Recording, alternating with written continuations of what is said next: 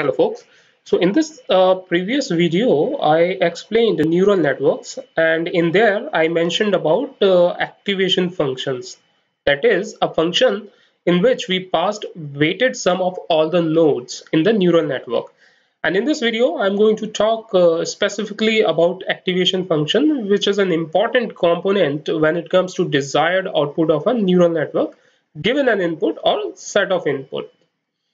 Okay, so activation function provides a non-linearity to the uh, neural networks and I will also uh, explain uh, in fact uh, how uh, we can uh, you know use these activation functions in neural network as well as what are the different types of activation functions.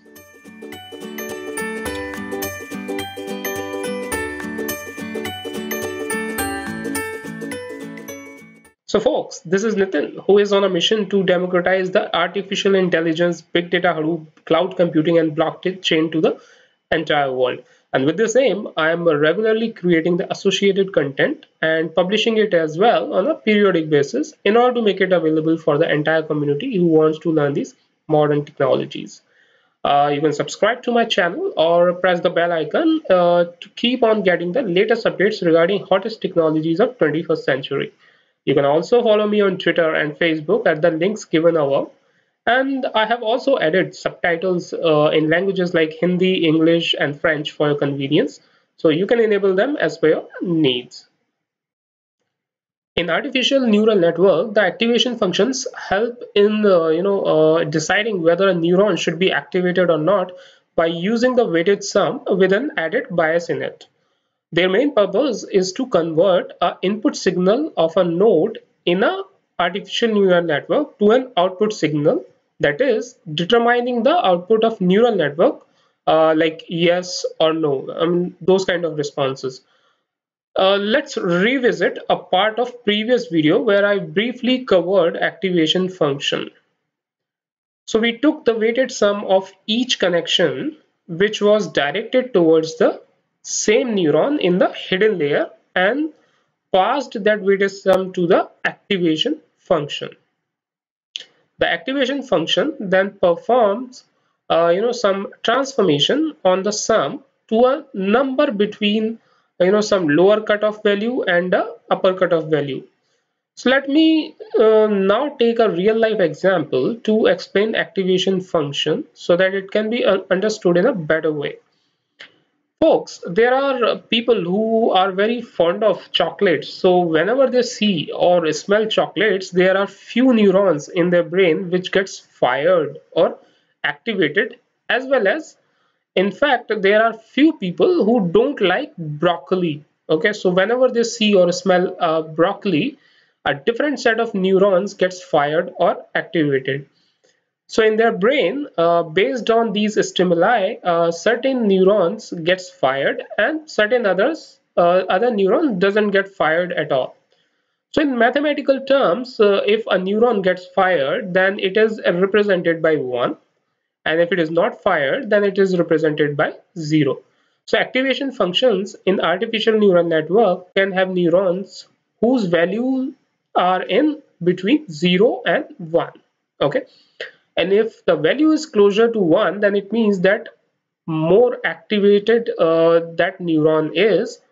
And if it is uh, if the value is closer to 0 so the zero value represents that less activated that neuron is. Hence we apply activation function fx so as to you know make the network more powerful and uh, add ab ability to it uh, to learn something complex and complicated as well as generating non-linearity in the output of the neuron. Okay?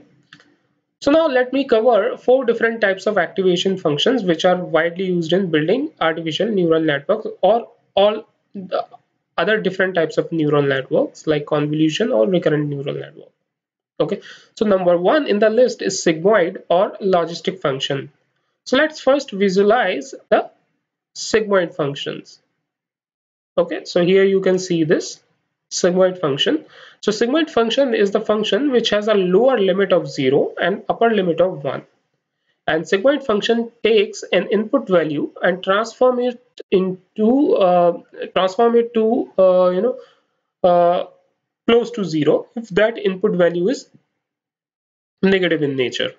If let's say the input is positive value then sigmoid function transforms it very close to 1 and if the input value is 0 then the sigmoid function will transform it uh, into some value between 0 and 1 so sigmoid activations uh, basically suffers from vanishing gradient problem.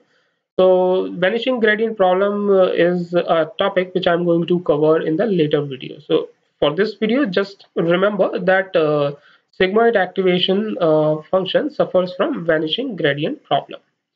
So number two in the list is tanh or hyperbolic tangent function.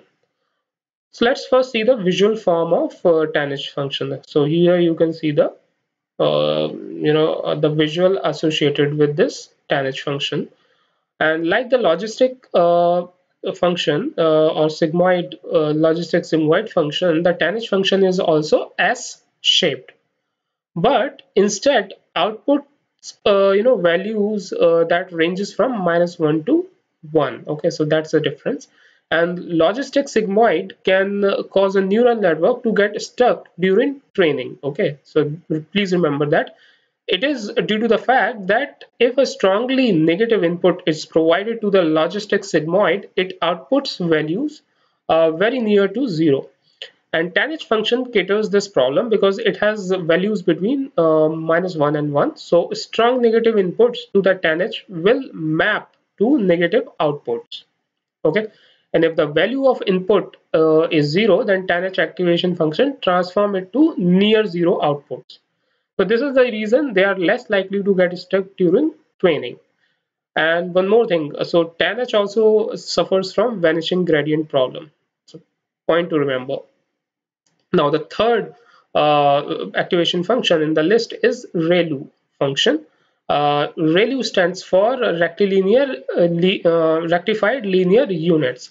And it is a type of activation function uh, you know so basically um, it is a type of function where um, you know we can define a function. Mathematically we can define it as y equals to max of 0 uh, comma x. So visually it looks like uh, the following diagram okay?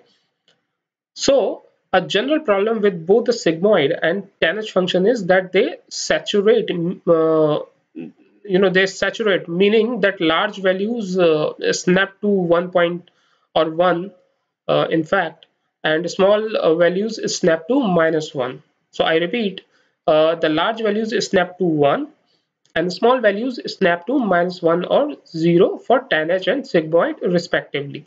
Both sigmoid and tanh are really sensitive to changes around their midpoint of their input, such as 0.5 because 0.5 is a midpoint for uh, sigmoid okay and 0 for tanh which is 0 is obviously midpoint between um, a midpoint in the tanh because the value lies from minus 1 to 1 so 0 is the midpoint of their input okay to overcome these issues, we use ReLU functions. Okay, the main advantage of ReLU function over their activation function is that, uh, or over other activation function is that it does not activate all the neurons at the same time. Okay, now you might be wondering uh, what does that actually mean. So if you look at the ReLU function, you will see that if the input is negative or zero, then it will convert it to zero. Okay, and the neuron does not get activated.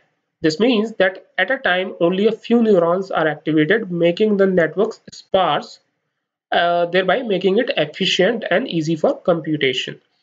And if the input is uh, other than 0 or other than less than 0 then it will return the same value and it is due to the fact that uh, it is depicted by y equals to x. So ReLU doesn't suffer from vanishing gradient problem. Now the fourth and last one in the list is, uh, you know, a, softmax function. So let's first visualize the softmax function. So here it is. So the softmax function is also type of sigmoid function, but it is generally used in classification problems. uh, the sigmoid function is able to handle just two classes but if we have more than two classes to classify then we use software softmax function okay and the softmax uh, function uh, divides the outputs for each class between 0 and 1 creating individual probability of input being in particular class. So if you add the probabilities of the classes then it should come as 1 the combined values should come as 1 so let's take an example.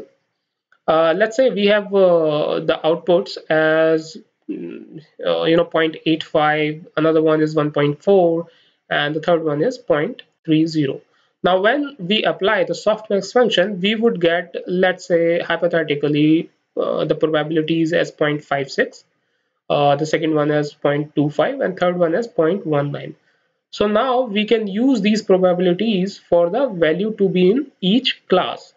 Okay? The softmax function so here we can uh, visualize that we have only three classes. Okay? Because we are seeing three probability values so we can uh, now we can use these uh, as probabilities for the value to be in each class okay and the softmax function is ideally used in the output layer of the classifier where we are actually trying to attain the probabilities to define the class of each input. Okay, so folks, this is it for this video. To conclude, I explained activation functions in detail as well as covered four mostly used activation functions like softmax, sigmoid, tanh, and ReLU.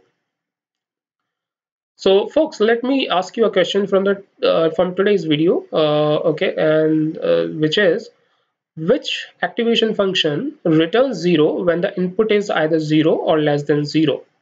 Please post your comments in the comment section given below because some of the most uh, or best tips and feedback come from you only. And if you're watching this video and you are not already a subscriber to our channel, consider clicking that little subscribe button.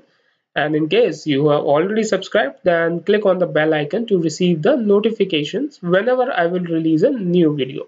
So thanks for hanging out with me guys. I will be covering next topic in the upcoming videos. So keep on watching. Thank you.